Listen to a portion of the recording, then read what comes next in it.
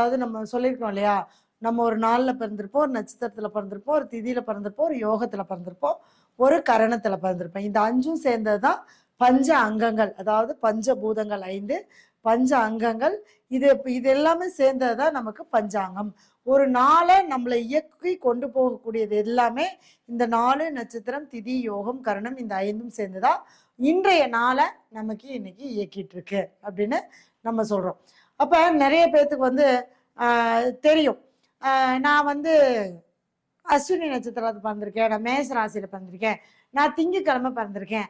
அப்படிங்கிறது உங்களுக்கு தெரியும். இப்போ நாள் தெரியும் நட்சத்திரம் தெரியும். அதே மாதிரி திதியும் கூட நீங்கள் வந்து நம்மளுடைய நம்ம லாஸ்ட் டைம் லைவ்ல வந்து நம்ம திதி பற்றி பேசியிருந்தோம். அதுவும் இப்போ என்னன்னா உங்களுக்கு தெரிஞ்சிருக்கும். அப்போ நான் இந்த திதியில பிறந்திருக்கேன். நான் இந்த திதியில பிறந்தா நான் எந்த மாதிரியான கர்மாவை அனுபவிப்பேன்? அதுக்கான கர்மா என்னங்கிறத விஷயத்தை என்னங்கிறத நான் உங்களுக்கு அந்த போன லைவ்ல கொடுத்துருக்கேன். அப்போ நாலு நட்சத்திரம் திதி. இது மூணுமே வந்து நமக்கு என்னன்னா நம்மளுடைய கர்மாவினுடைய அடிப்படையில் அந்தந்த கிரகங்கள் அந்த நட்சத்திரமாகவும் அந்த நாளாகவும் அந்த திதியாகவும் நாம் பிறந்தோம். சரி எல்லாருமே கர்மா வந்து நல்லாலாமையே தான் பண்ணிட்டு வருவோமா? தீய வகையான கர்மாவை தான் பண்ணிட்டு வருமா? ஏன் எனக்கு நான் நான் புண்ணியமே பண்ணிருக்க மாட்டேனா? ஏன் என்னுடைய ஜாதகத்தில் எனக்கு யோகமே இல்லையா? என்னை வந்து யாருமே காப்பாற்றுவாங்களா காப்பாற்ற மாட்டாங்களா அப்படின்னு இருந்தா ஒரு ஜாதகத்துல நம்மளை காப்பாத்துறது யாருதுன்னா நம்ம அப்பா அம்மா மாதிரி நம்மளுடைய ஜாதகத்துல நம்மளுடைய யோகியும் கரணநாதனும் நம்மளை வந்து காப்பாத்திட்டே வருவாங்க. அப்ப இந்த யோகி யார்? அப்ப நம்ம ஜாதகத்துல நாம பிறந்த நாள் இன்றைய நாள் அப்படின்னா இந்த நாள்ல ஒரு யோகம் நமக்கு இத்தனை அளவு அதாவது ஒரு யோகம் அப்படிங்கிறது இருக்கு. அதாவது யோகங்கள் வந்து இருபத்தி ஏழு நாம யோகங்கள் நம்ம இப்போ வந்து அந்த இருபத்தேழு நாம யோகத்தை எப்படி இருபத்தி ஏழு நட்சத்திரமோ அந்த மாதிரி இருபத்தேழு நாம யோகம் ஒவ்வொரு நாளும் ஒவ்வொரு யோகம் நமக்கு என்னன்னா வந்துட்டு வந்துட்டு போயிட்டே தான் இருக்கும். அப்ப இந்த யோகங்கிறது யாரு? யோகிங்கிறது யாரு? அந்த யோகத்துல பிறந்த அவயோகி யாரு? அவயோகி எப்படி செயல்படுவாரு? யோகி எப்படி செயல்படுவாரு? அதை பத்தின பதிவு தான் நம்ம இன்னைக்கு பார்க்க போகிறோம் புதுசாக பார்த்துட்டு இருக்கிறவங்க நம்ம சேனலில் லைக் சப்ஸ்கிரைப் பண்ணுங்கள் ஒரு லைக் மட்டும் பண்ணுங்கள் உங்களுடைய நண்பர்களுக்கு இதை ஷேர் பண்ணுங்கள் ஏன்னா நீங்கள் பண்ணும்போது இந்த பிரபஞ்சம் உங்களுக்கு அதுக்கான பலனை கண்டிப்பாக கொடுக்கும். சரிங்களா? இப்போ இந்த இருபத்தேழு நாம யோகத்தை பற்றி தான் நம்ம பார்க்க போகிறோம் அந்த யோகம் சரி எல்லாம் சொல்கிறாங்க யோகி இயக்குங்க. யோகத்துக்கு கோயிலுக்கு போயிட்டு வாங்க. உங்களுக்கு வந்து யோகம் வேலை செய்யும். அவயோகிக்கு கோயில் போயிட்டு வாங்க உங்களுக்கு அவயோகம் வேலை செய்யாது அப்படின்னு சொல்லி சொல்கிறாங்க நம்ம நிறைய யூடியூப்பில் நீங்கள் பார்த்துருப்பீங்க. அப்போ ஒரு ஜாதகத்தில் யோகியாக இருக்கக்கூடிய கிரகம் நமக்கு எப்போ பலன் கொடுக்கும்? அவயோகியாக இருக்கக்கூடிய கிரகம் நமக்கு திசை நடத்தினாலோ அல்லது புத்தி நடத்தினாலோ நமக்கு பாதிப்பு கொடுக்குமா? அது எந்த மாதிரியான நம்மளுடைய ஜாதகத்தில் பாதிப்பு கொடுக்கும்? அப்படிங்கிறத ஒரு உதாரண ஜாதகங்கள் மூலமாக நான் உங்களுக்கு விளக்க போறேன். ஃபர்ஸ்ட் வந்து நம்ம இருபத்தேழு நாம யோகத்தை பார்ப்போம். சரிங்களா? ஒவ்வொரு நாம யோகத்துக்கும் ஒவ்வொரு யோகியும் ஒவ்வொரு அவயோகியும் இருக்காங்க. சரிங்களா? இப்போ வந்து நம்ம அதாவது இப்ப வந்து நம்ம வந்து ஒரு உதாரண ஜாதகம் மூலியமா தெரிஞ்சுக்கிட்டோம். ம். சரிங்களா? ஆமா. யோகி அவயோகி எப்படி வேலை செய்யும்? ஆமா. வந்து நான் டேட் ஆஃப் பர்த் போடல. வயசு மட்டும் எழுதுறேன்? முப்பத்தி ஏழு வயசு ஆகுது. ஓகேங்களா? இவருடைய ஜாதக கட்டம் நான் போடுறேன். இவர் என்ன யோகத்துல பிறந்தாருங்கிறது தான் நமக்கு ரொம்ப முக்கியமான ஒரு விஷயம். ஓகே இவர் வந்து நம்ம என்ன சொன்னோம்? சௌபாக்கிய நாம யோகம். அதாவது யோகத்திலே சிறப்பான நாம யோகம்னு சொன்னோம் இல்லையா? அந்த யோகத்துல இவர் பிறந்திருக்கார். ஓகேங்களா? இவர் வந்து பிறந்த யோகம் வந்து சௌபாக்கிய நாம யோகம். சௌபாக்கிய நாம யோகம்னா நம்ம யார் சொல்லியிருக்கோம்? யோகி யார் சொல்லியிருக்கோம். பூரம் வந்து யோகி சொல்லியிருக்கோம் இல்லையா? பூரட்டாதி குரு வந்து அவயோகி சொல்லியிருக்கும். அப்போ சுக்கரன் யோகியாகவும் குரு அவயோகியாகவும் வர்றார் இல்லையா? இதை நம்ம எடுத்து வச்சுக்கிறோம். ஓகேங்களா? இதில் கொஞ்சம் தள்ளி எழுதி.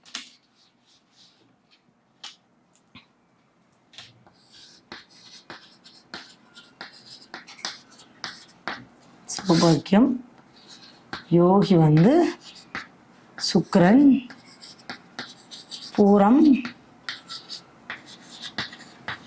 அவயோகி அவயோகி குரு.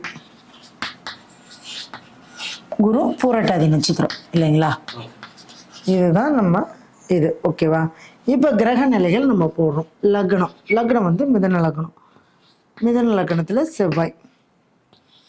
நாலில் கேது மாந்தி. சனி பகவான் விருச்சகத்துல. குரு, ராகு. சந்திரன்.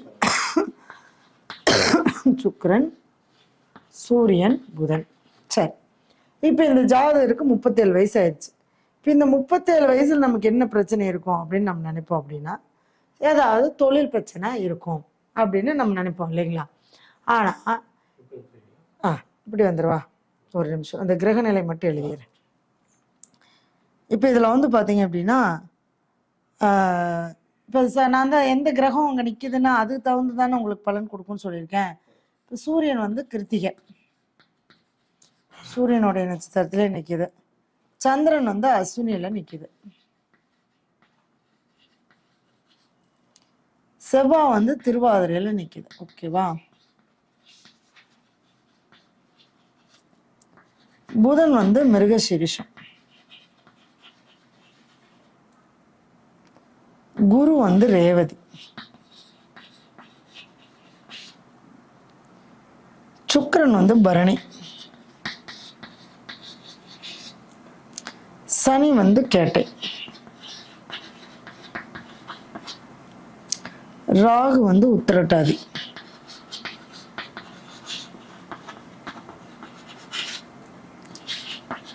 கேது வந்து அஸ்தம். லக்னம் நிக்கிற புள்ளி வந்து புனர்பூஷம் மாந்தி வந்து அஸ்தம். சரி. இப்ப இவர் என்ன திசையில பிறந்திருப்பாரு?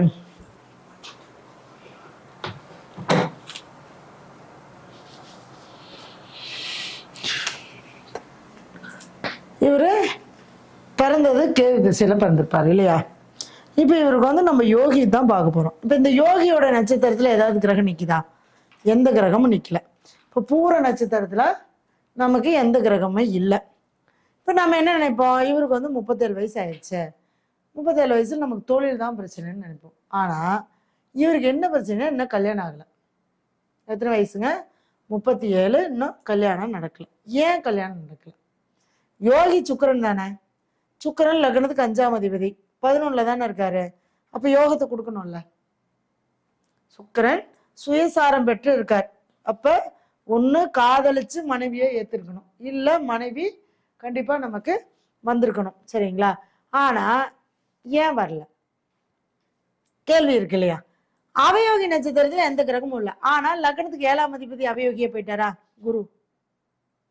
குரு அவயோகி ஆனால் அவயோகி நட்சத்திரத்தில் இல்லை. ஏழாம் அதிபதி பத்தாம் இடத்துல இருக்கார். இப்போ ஏழாம் அதிபதி பத்தாம் இடத்துல இருந்தால் நம்ம என்ன சொல்லுவோம்?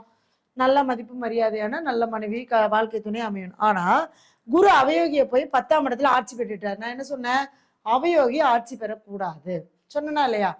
அப்போ இந்த அவயோகி ஆட்சி வரும்போது அவர் யார் நட்சத்திரத்தில் நிக்கிறார்னா புதனுடைய நட்சத்திரத்தில் நிற்கிறார் புதன் இந்த லக்னம் யாருன்னா புதன் தான் இவருடைய லக்ன புள்ளி அப்ப லக்ன புள்ளி நட்சத்திரத்துல அவயோகி நிற்கிறார் அப்ப அந்த லக்னத்துக்கு தேவையானது கொடுப்பாரா? கொடுக்க மாட்டாரா? கொடுக்க மாட்டாரு தானே? அவர் என்ன அவர் கொடுக்கல? ஏழாம் மடம்னு சொல்லக்கூடிய திருமணத்தை கொடுக்கல. மதிப்பு மரியாதை பத்தாம் மடங்கிறது என்னங்க? மதிப்பு மரியாதை அந்தஸ்து கௌரவம். இப்ப அந்த கௌரவங்கிறது எப்ப நமக்கு கிடைக்கும்? ஒரு ஆண்மகன் ஒரு கணவனாக மாறினா ஒரு பெண்ணுக்கு தாலி கட்டினதுக்கு அப்புறம் அவன் ஆம்பளை.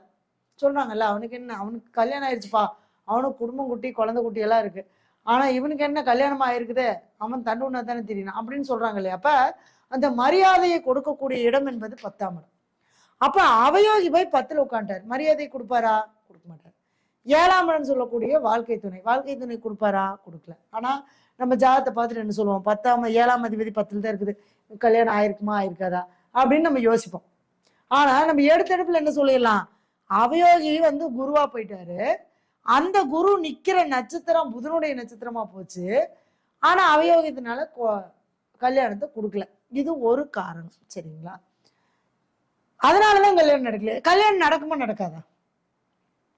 குரு அவயோகி அவயோகி நட்சத்திரம். ஆனா திசை எதுவும் நடக்கல. இப்ப அவருக்கு நடக்கிறது வந்து சந்திர திசை நடக்குது. சந்திரன் கேதுவுடைய நட்சத்திரத்தில். பிறந்தது கேது திசையில அடுத்தது சுக்கர திசை வந்துச்சு. சுக்கர திசையிலே கல்யாணம் நடந்திருக்கணும். நடக்கல. அடுத்து சூரிய திசை வந்துச்சு. சூரிய திசையிலையும் கல்யாணம் நடக்கல. அடுத்து இப்போ சந்திர திசை பத்து வருஷம் பத்து வருஷம் முடிய போகுது. எட்டாவது மாதத்தோட ஆனாலும் நடக்கல. ஏன் நடக்கல? அப்படின்னா இதுக்கு ஒரு முக்கியமான ஒரு காரணம் இருக்கு.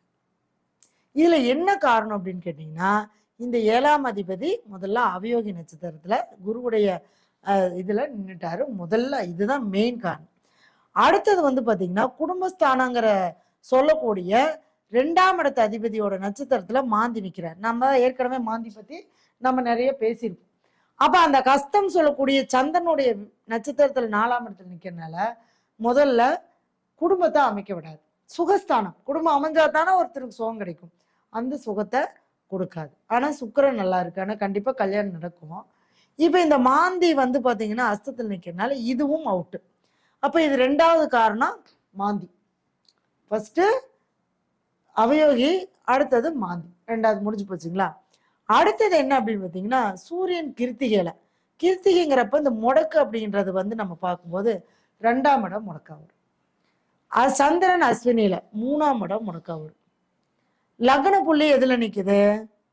புனர்பூசி நட்சத்திரத்துல. சுக்கரனுடைய வீடு முடக்கா வரும். இப்ப சொல்லுங்க சுக்கரன் யோகி தான் யோகி எப்படி யோகத்தை கொடுப்பாரு?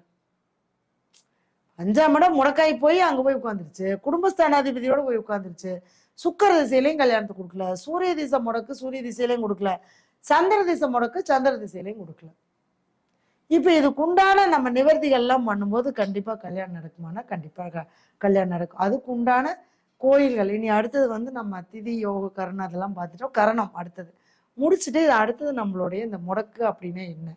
நம்மளுடைய வாழ்க்கையில முடக்கு எப்படி வர வந்திருக்கு? நம்ம ஜாதகத்தில் ஒவ்வொரு விஷயத்தையும் நம்ம அதே மாதிரி பணம் எவ்வளவு சம்பாதிச்சாலும் வச்சிருக்க முடியாது. சேமிப்பாகாது. ஏன்னா ரெண்டாம் இடம். குடும்பம் மட்டும் இல்ல வாக்கு. அவர் வந்து என்னன்னா சுக்கரன் அங்க இருக்கிறதுனால நிமிந்து பார்த்து கூட பேசுறது இல்ல எந்த பொண்ணையும். ஏன்னா பெண்களை வந்து நேருக்கு நேர் நின்று கூட பார்த்து பேசுறது இல்ல. ஏன்னா இவங்களை நம்ம பார்த்ததுனால நம்ம இந்த அனுபவமா நம்ம சொல்றோம் இந்த விஷயத்த. ஏன்னா அந்த சுக்கரனும் முடக்காய் போய் சந்திரனும் முடக்காய் போய் பதினொன்னாம் இடத்துல இருந்தா பதினொன்னாம் இடம் தான் நம்ம நண்பர்கள்னு சொல்லுவோம் இல்லையா? அப்ப அந்த நட்பு அப்படிங்கிறது கூட அவங்களுக்கு என்ன ஆகாது? நேருக்கு நேர் வராது. கொடுத்துருக்கேன். அப்ப என்னன்னா கண்டிப்பா நமக்கு வந்து இது வந்து நம்ம கண்டிப்பா அவங்களுக்கு நிவர்த்தி கிடைக்கும். இது நம்ம வந்து இப்ப பார்த்த நம்ம ஜாதகம். நெக்ஸ்ட் நம்ம அடுத்த லைவ்ல வந்து பாத்தீங்கன்னா ஏற்கனவே நம்ம முன்னாடி பார்த்து அவங்களுக்கு இப்ப எப்படி கல்யாணம் நடந்தது அது என்ன காரணத்தினால நடந்தது அப்படிங்கறத நம்ம ஒரு சில லைவா வந்து நம்ம அடுத்த லைவ்ல நம்ம கொடுப்போம். டீட்டெயிலாக கொடுப்போம். இப்போ இவருக்கு வந்து இது போல இப்ப யோகியா இருந்தாலும் சில நேரத்துல இது மாதிரி இருந்துச்சுன்னா ஆஹ் இப்ப சுக்கிரன் யோகி தான். ஆனா சுக்கிரன் முடக்கா இருக்கிறதுனால என்ன பண்ண முடியலைங்க? அவருக்கு அந்த ஒரு பெண்ணை திருமணம் பண்ணி கொடுக்க முடியல. அதுல பிளஸ் இவருக்கு ஏழாம் அதிபதியே வந்து அவருக்கு அவயோகிய போயிட்டார். அப்ப இந்த அவயோகிக்கு உண்டான ஸ்தலங்களுக்கு போயிட்டு வரும்போது கண்டிப்பா அவங்களுக்கு திருமணம் நடக்கும். இது ஒரு ஸ்டெப் அல்ல. எல்லாமே நம்ம சேர்ந்து ஜாதக ஆய்வு பண்ணி பார்க்கும்போது நமக்கு வந்து முழுமையான பலன்களை நம்ம கண்டிப்பா கொடுக்க முடியும் அவங்களுக்கு.